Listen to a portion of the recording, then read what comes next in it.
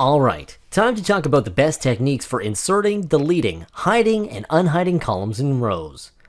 You can fill new data in Table and Excels only by adding new rows or new columns.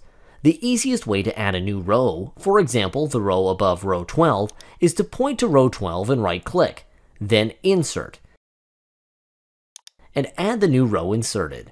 Pretty straightforward, right? This technique is useful if we only have one data table, but in this worksheet we have two tables. Notice that the new row was implemented in both data tables.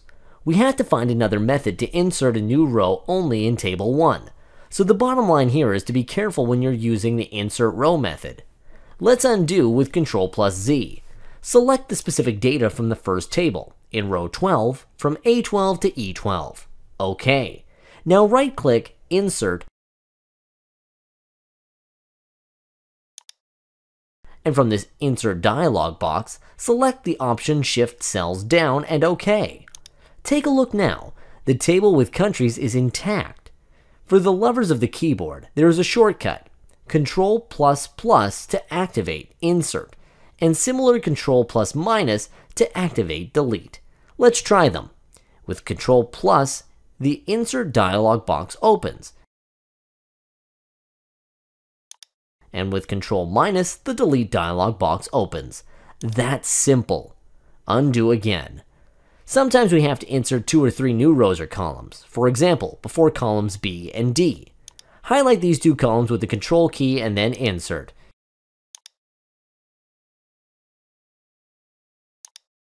We get a new column to the left of those two columns.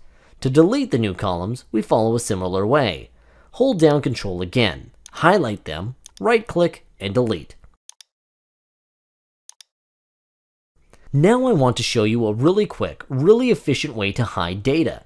Usually I want to hide data if I don't want to print them. Again, hold down the Control key, highlight the rows you want to hide, right click, and hide. To unhide a specific row, you highlight the rows above and below this.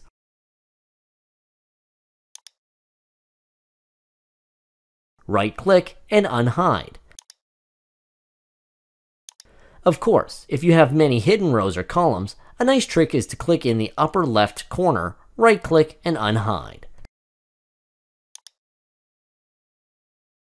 Thanks for watching.